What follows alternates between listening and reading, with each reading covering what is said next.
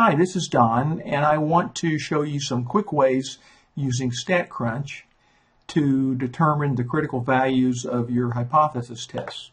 Let's go up here to Stat, and we'll go to Calculators, and let's do a normal z-test first of all. Here's our calculator. We're on standard, which shows either a left tail or right tail test. Right now it's a left tail test. Let's do a right tail test, and I want the alpha to be 0.05, which is a 95% confidence level, so we'll put in 0.05, and then I hit compute. And we get a critical value of, of z of 1.6448, or rounding out to three places, 1.645. I think you've heard that before. What if we wanted a left-hand test, and I just switch that and let it recalculate the z, and you see we get the same critical value z, minus 1.645.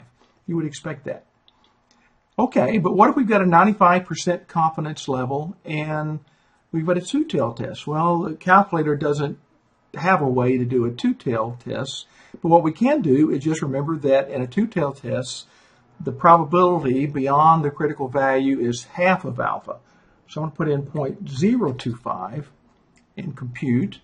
And we see that on the two-tail tests for 95% confidence level, the critical Z becomes 1.96, and you've seen that before. Now I could switch this around and recalculate, but we know that the normal curve is symmetrical.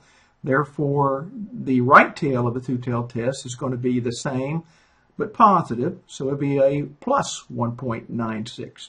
Pretty straightforward. Okay, Let's do a t-test. Again, I'm going to calculator, down to t, and here's our, our t calculator, and we got the standard again. We want either a left tail or right tail test. This time we have to know the degrees of freedom. And let's say our degrees of freedom are 4, n minus 1, and that, again, we're using the good old point 0.05, 95% confidence level and I compute the left hand, which is a minus 2.132 for the, the critical value of t. If we want a right hand test,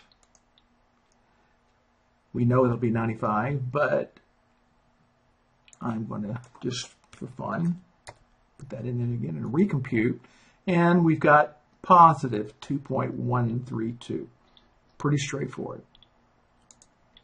Now, let's do a chi-square.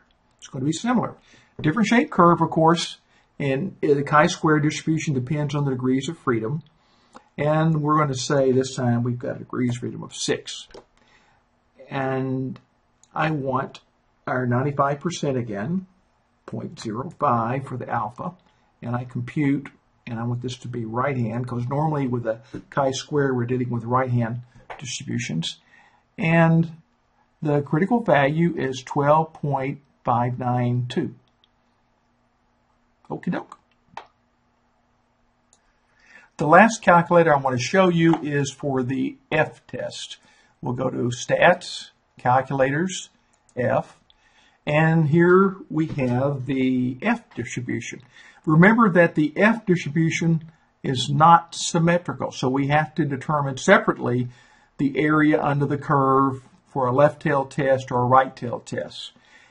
In this test, we also need to know the numerator and the denominator degrees of freedom. And you would put in the values you have. I'm going to leave the 25, 25 they have here.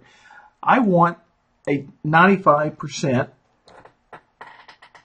test, and it's going to be first a right-hand test, and it computes a value of 1.955 for the critical value of f. Anything beyond beyond that, larger than that, falls in the rejection region, and we reject the null hypothesis. If we want a left tail test, just like that, and for 95%, recompute, and we get a value of 0.511 for the left tail test. It's a positive 0.511. Anything smaller than that falls within the rejection zone and you reject the null positives. And that's it.